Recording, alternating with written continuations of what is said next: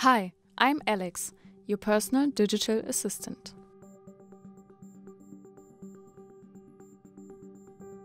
Media and information literacy. Try to understand and create digital media. The digital space is overflowing with a staggering variety of ideas expressed in different forms of media, from news to social and political commentary, educational videos, advertisements, and entertainment. Many blur the lines between genres. At times, it can be difficult to immediately spot the intent behind a message, to differentiate between factual information and commentary.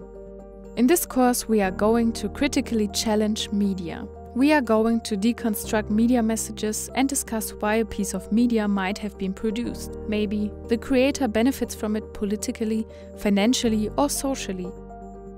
What makes a source believable and how can we make sure that it is accurate? And how can we make sure to produce media in an ethical way? You are warmly welcome to join this course. See you soon!